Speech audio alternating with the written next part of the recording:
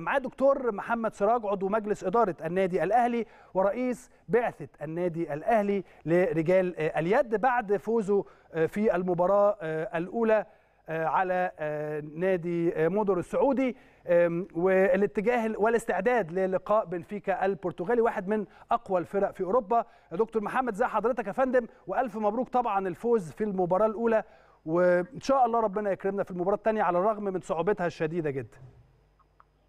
حبيبي يا كابتن اسلام تحياتي ليك وتحياتي لكل السادة المشاهدين وقناه النادي الاهلي ربنا يخليك يا دكتور. أنا عارف إن حضرتك عندك أخبار حلوة. أنا لسه كنت بقول للجمهور يعني زي ما بنتكلم عن العدالة التحكيمية امبارح إن أن يجب أن يكون الدوري السنة دي فيه عدالة تحكيمية. الحمد لله الأمور النهارده في العدالة التحكيمية في كرة القدم جيدة جدا.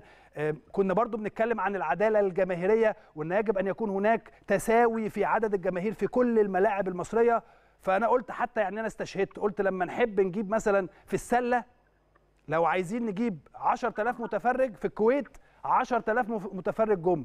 النهارده قريت كلام الكابتن أو الدكتور محمد سراج لما كان بيتكلم وقال إن هو اتفق مع اللجنة اللجنة المنظمة على أن أن يكون جمهور النادي الأهلي متواجد في ساعة جماهيرية كاملة. فبالتالي جمهور النادي الأهلي في كل مكان وجمهور النادي الأهلي دايما بيقف ورا النادي يا دكتور. مظبوط يا كابتن إسلام مظبوط. وأنا طبعا حابب أضيف على كلامك يعني فتحت ملف مهم وأكيد بتتكلم فيه بقوة كعادتك يعني. الملف ده طبعا خاص بالعداله التحكيميه طبعا دي حاجة أكيد كلنا بنرغب فيها وبنتمناها والأهم من كده الاستمرارية. بالظبط. نتمنى إن شاء الله إن يبقى في استمرارية في ده يعني.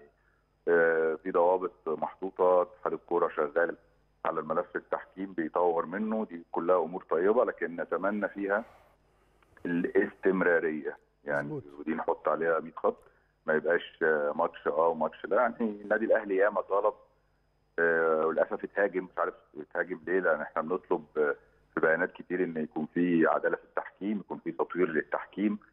آه بالتالي ده في صالح الكره المصريه يعني صالح الاهلي فقط يعني. مظبوط. صالح جميع الأندية على فكرة يعني. أنت يبقى عندك منظومة تحكيمية قوية. آه، زي ما أنت بتنافس على البطولة كل سنة وبتنافس على إنك تكون البطل وتحافظ على مكانك. في فرق برضه بتصارع الهبوط وبتنافس اللي هينزل درجة ثانية واللي هيفضل. وكده ودول برضه بيتظلموا. مش انت الصراع مش فوق بس. فالعدالة التحكيمية دي آه، يعني هتبقى مفيدة للجميع أتمنى استمرارها. آه، برضه في نفس الوقت العدالة في الحضور الجماهيري.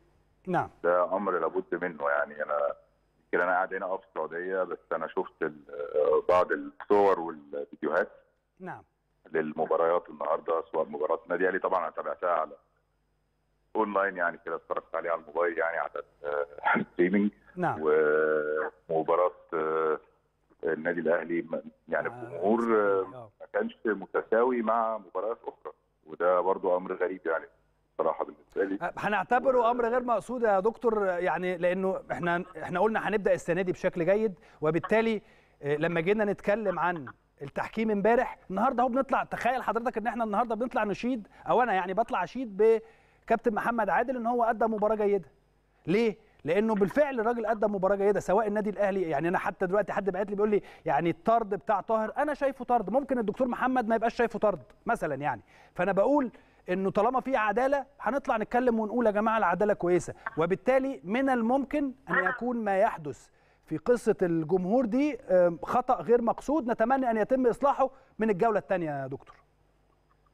هو نتمنى يتم إصلاحه لأن هو يعني كان ظاهر من نهاية مباريات الدوري الموسم الماضي يعني هو نعم. أول مرة يظهر ف كون إن أنت تبدأ برضو البداية دي زي نهاية الدوري الموسم الماضي أعتقد ده أمر إحنا مش هنقبل باستمراره يعني فأكيد أوكي.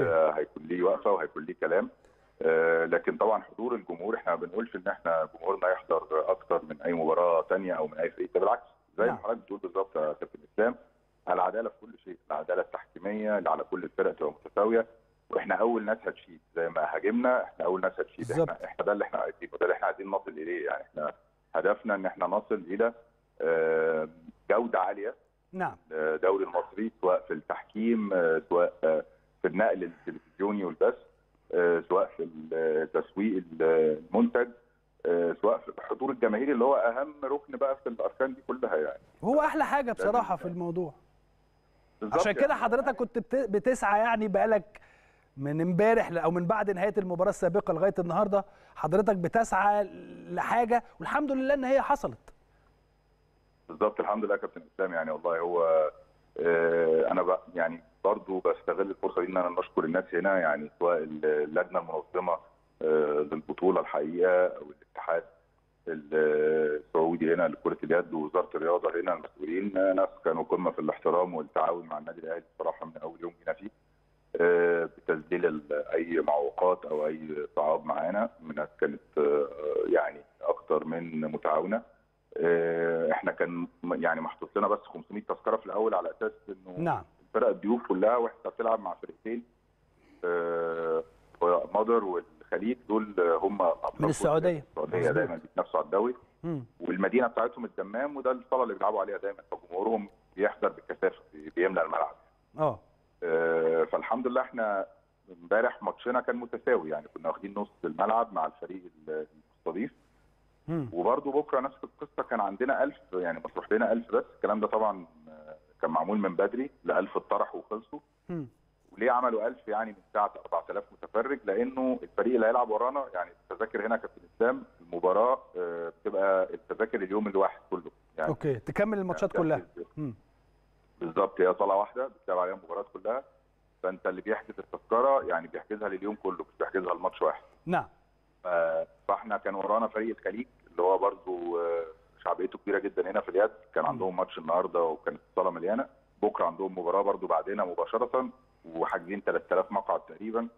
وحاطين للنادي الأهلي 1000 فالحمد لله قدرنا يعني بالتنسيق مع الاتحاد الدولي واللجنه المنظمه ووزاره الرياضة هنا والفريق برضو ال- الخليج اللي بنشكره يعني على التعاون إن يتم يعني نفصل المباراتين عن بعض يعني يتم طرح ساعة هنا كاملة والساعة هنا كاملة على تعهد مننا إن إحنا نخلي الاستاد أو الصاله قبل مباراتهم على طول يعني ما. بعد مباراتنا مباشرة تمام. يقدروا هم يتوافدوا ويخشوا. ف وتم الاستجابة لكل هذه الأمور؟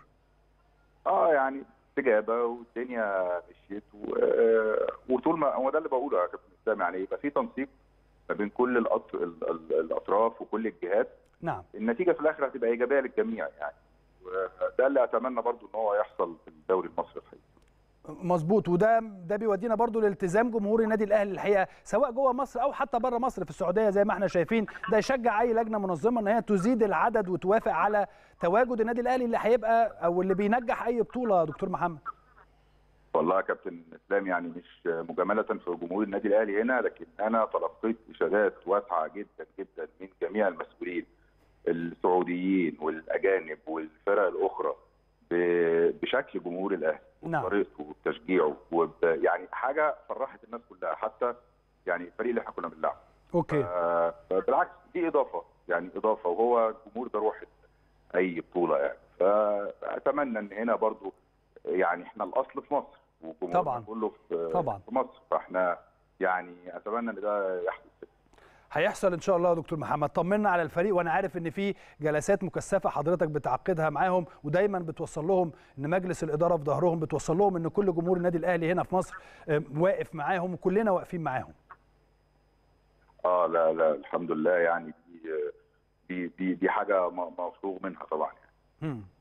طيب ممكن تطمنا على آه، المباراة القادمة مباراة بنفيكا وأهم الاستعدادات لهذه المباراة؟